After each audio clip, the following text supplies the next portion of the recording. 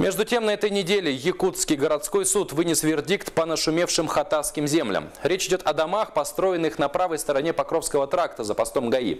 Проблема заключается в том, что дома собственники возвели в безопасной зоне пролегающего неподалеку газопровода, а в ней строить нельзя. Однако, когда люди получали разрешение на строительство, им эти разрешения без оглядки выдавали. Но городской суд постановил постройки снести. Что теперь будет с семьями и кто виноват в сложившейся ситуации, разбиралась Александра Охлопкова. В 2019 году были изменены границы города Якутска, и для правой стороны Покровского тракта с 10 по 16 километр изменился вид разрешенного использования, обретя статус земли поселений. Такое постановление в свое время было принято на пленарном заседании городской думы. В свое время действовали разные нормативно-правовые акты, а, благодаря которым а, то же самое, вот, например, Росреестр. Почему они выдавали документы, почему не было обременений на эти земельные участки. Также, почему город выдавал разрешение на строительство? Ну, газопроводы магистральные, это 500 труба, огромная труба. Ну, на всех, естественно, это по съемках, на всех планшетах они есть. Но они переводят под ИЖС, кроме того, еще выдают разрешение на строительство. Ну, люди-то об этом не знали. То есть и вот все вот эти вот жители, которые на сегодняшний день есть, которые построились, вот семьи, в том числе многодетные семьи, они точно не виноваты. И нужно решить их проблему в первую очередь. А сведения о минимально допустимых расстояниях магистрального газопровода ГРС-2 Хатасы были внесены в Государственный реестр недвижимости лишь в декабре 2013 года, а люди получили разрешение под ИЖС раньше. Татьяна Никифорова купила земельный участок с разрешением в 2015 году и в течение двух лет одинокая мать двоих детей строила дом своей мечты. Мне одной тянуть вот этот дом, строить два года и заселиться, это мне это трудно было, если честно, да. И сейчас снести этот дом я не хочу. Планировала в этом году построить тут гараж на две машины, как бы, и благоустройство дома провести. То есть у меня уже куплен септик, и эти унитазы, э, санузел, э, ну, имеется в виду душевая, да, все технические это уже куплены. А в 2015 году выяснилось, что на территории проходит магистральный газопровод, который не был обозначен на местности, и что территория СХПК «Хатаский» – охранная зона. Это стало полной неожиданностью для владельцев участков, которые успели построить дома. В итоге более 340 участков села Хатасы попали в охранную зону магистрального газопровода ГРС-2 Хатасы. Газ поступает в Якутск от Средневилюйского и Мостахского месторождений по трем ниткам газопровода. Газопровод ГРС-2 Хатасы врезается в основную трубу на 286-м километре близ Якутска. Затем пересекает Вилюйский тракт, район птицефабрики, где расположена газораспределительная станция, и спускается по склону Чочур-Мырана, далее проходит по правой стороне от Покровского тракта до села Хатасы. От села Хатасы газ транспортируется через реку Лена в заречную группу районов Якутии. Владельцы домов в газоохранной зоне оказались заложниками ситуации. Люди стучались во все двери, но остались один на один с проблемой и судебным решением о сносе домов. Разобраться в конфликтной ситуации Егор Борисов поручил председателю правительства Якутии Евгению Чекину.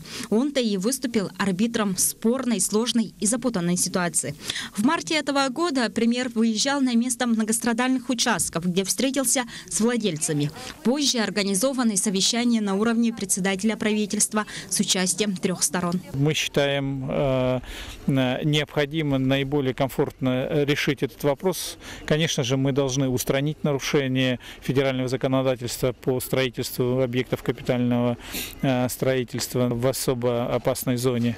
Но это будет сделано, конечно же, обязательно с учетом интересов э, тех жителей, которые успели построить свои дома. Анализируя хронологию событий, возникают следующие вопросы. Почему, зная, что эти участки подпадают в охранную зону магистрального газопровода ГРС-2 Хатасы, город дал согласие на капитальное строительство? Абсолютно верно. Такое, такое было ну, своевременно, э, может быть, по незнанию, да, или там ну, была допущена действительно ошибка, да, и оно было переведено. Но мы же сейчас уже, ну, таких жизней, жизни таких ситуаций очень много, да, на самом деле. Да, на самом деле. И сегодня мы, мы уже активно исправляем эту ошибку. И надо дать еще одну ну, должную информацию, то что из 10 с разрешением, по сути, на строительство был только один участок. Остальные уже строились без разрешения, но тут законодательство есть послабление, да, то, то что вот, чтобы обойти барьеры эти, могут люди строиться и без разрешения на самом деле. Но, повторюсь, мы пути к тому, чтобы решить эти проблемы. А почему тогда, еще в далеком 2013-2014, компания, которая эксплуатирует этот охранный участок, не забил заблаговременно тревогу? Почему не проинформировали владельцев на начальном этапе строительства? А на начальном этапе строительства не заметили?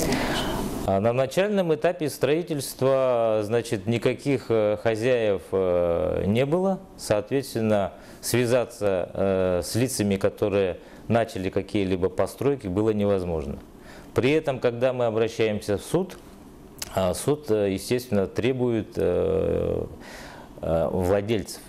Но эти владельцы зачастую выяснить их, значит, поименно очень затруднительно. Потому что, значит, эм, это персональные данные, которые могут быть предоставлены только согласие самого владельца. Здесь э, немного такой вот замкнутый круг. Менее, судебные тяжбы продолжаются. И, как показывает практика, суд на стороне Сахатранснефтегаз. Остается за короткое лето решить вопросы с переносом, возмещением затрат, выделением новых участков. В эти дни состоялось совещание во главе заместителя председателя правительства Игоря Никифорова. В ходе разговора были затронуты вопросы внесения изменений в сведения Единого государственного реестра недвижимости на зону минимально допустимых расстояний магистрального газопровода ГРС-2 Хатасы.